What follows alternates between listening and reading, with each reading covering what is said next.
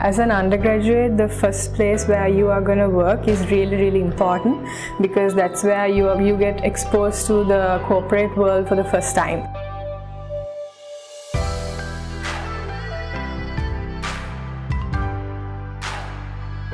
I love WSO2 because of the usage of middlewares in, and then the systems like open banking and identity servers. So I just love to learn a lot of experience and work on APIs and you know, get on get my hands on that so that you know during my final it will be a really great help.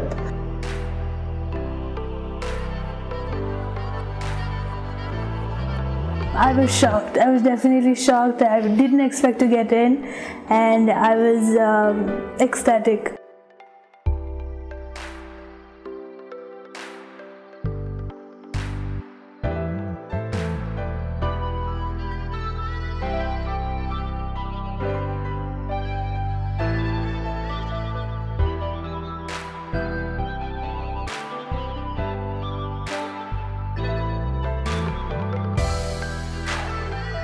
I remember getting the call uh, that they said uh, I was accepted and I was really happy and uh, yeah it was a, it's a dream come true.